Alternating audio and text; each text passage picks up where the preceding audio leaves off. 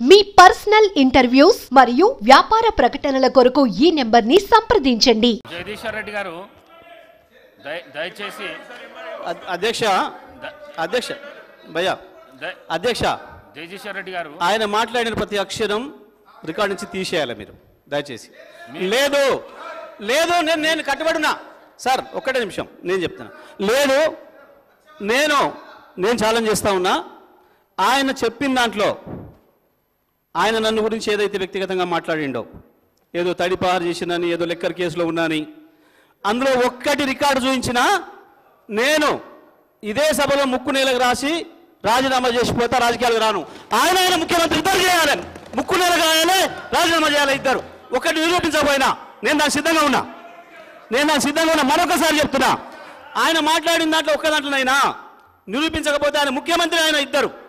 ముక్కు నెలకు రాసి రాజీనామా చేసుకోవాలి రాజకీయాల నుంచి. నేను అడిగినా నేను అడిగినా దీని మీద నిలబడాలి అధ్యక్ష.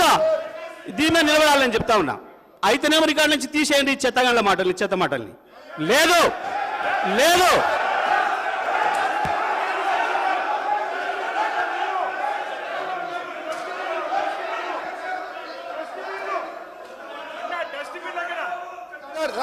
Okay okay sir.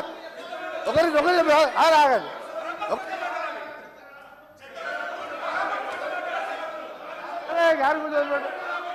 Sir sir మా గౌరవ గౌరవ సభ్యుడు గౌరవ సభ్యుడు చెప్పినట్టు.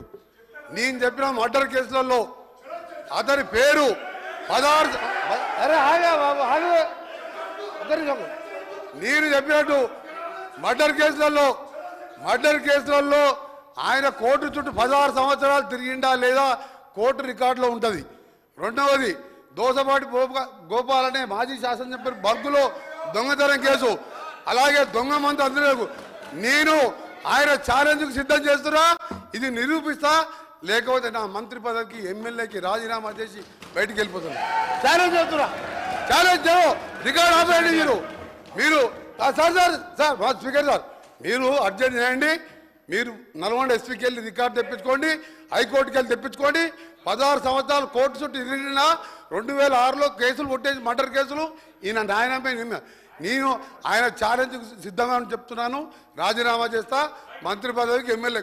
నువ్వు ఇక మొన్న గెలిచిన రెండు వేలు మూడు వేలతో గెలిచినావు నీ జీవితంలో రావు నువ్వు మళ్ళీ చదువుకు నీ ఛాలెంజ్ నేను ఒప్పుకుంటున్నా ఆ రికార్డు తెప్పియండి జ- జగదీశ్వర్ రెడ్డి గారు. అధ్యక్ష, అధ్యక్ష. One minute one minute. One minute.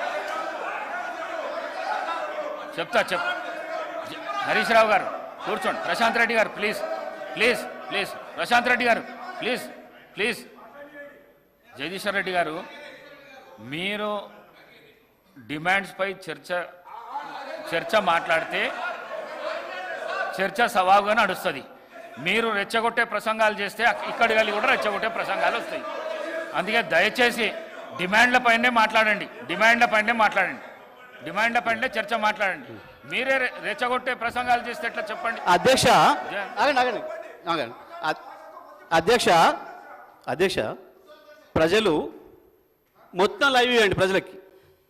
ముఖ్యమంత్రి గారు మాట్లాడింది ఆయన మాట్లాడింది నేను మాట్లాడింది ప్రజలు చూసిండ్రు కానీ మీరు ఈ రిమార్క్స్ చేయడం వల్ల మీ ప్రతిష్ట కూడా భంగం కలిగే అవకాశం ఉంది అధ్యక్ష.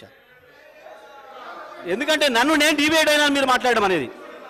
నేను డివేట్ అయినా మీరు మాట్లాడడం అనేది ఇది న్యాయం కాదు అధ్యక్ష. ఇది న్యాయం కాదు అధ్యక్ష ఇది. నేను గౌరవ సభ్యులను కోరుతా ఉన్నాను.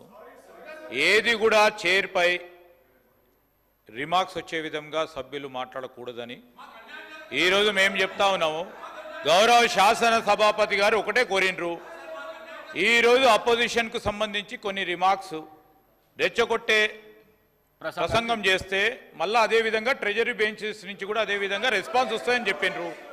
ఈ రోజు వారు చెప్పడం చెప్పటం విషయంలో వారు చెప్పారు. రెండవది అధ్యక్ష వారు నిత్యం ఈరోజు సభ్యత సమాజం మొత్తం కూడా చూస్తూ ఉంది అధ్యక్ష.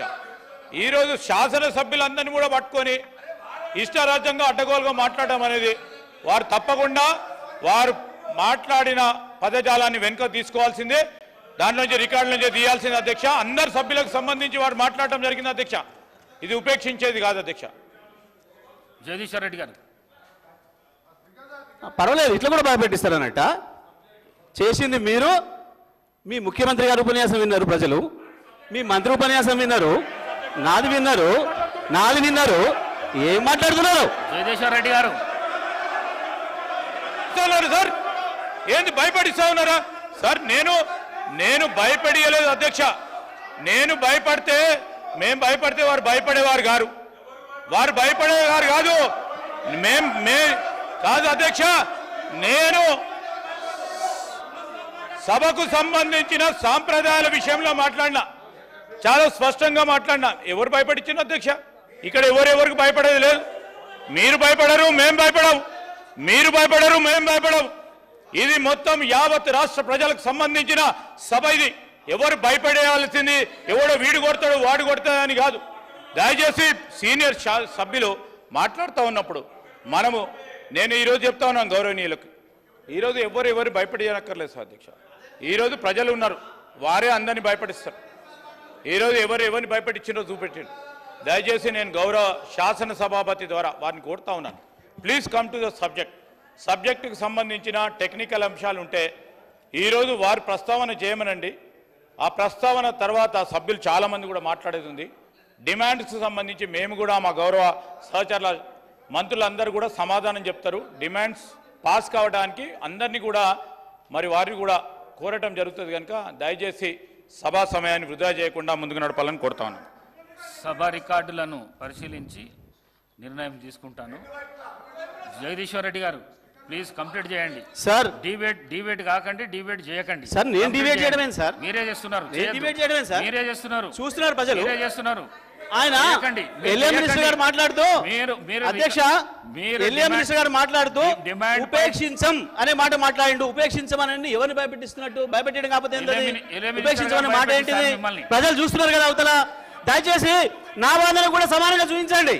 అధ్యక్ష తమరికి నేను రిక్వెస్ట్ తమరికి నా అభ్యర్థన మేము మాట్లాడినవి కూడా ప్రజలకు చూపించండి వాళ్ళు మాట్లాడినవి కూడా చూపించండి. ప్రజలు చూస్తున్నారు.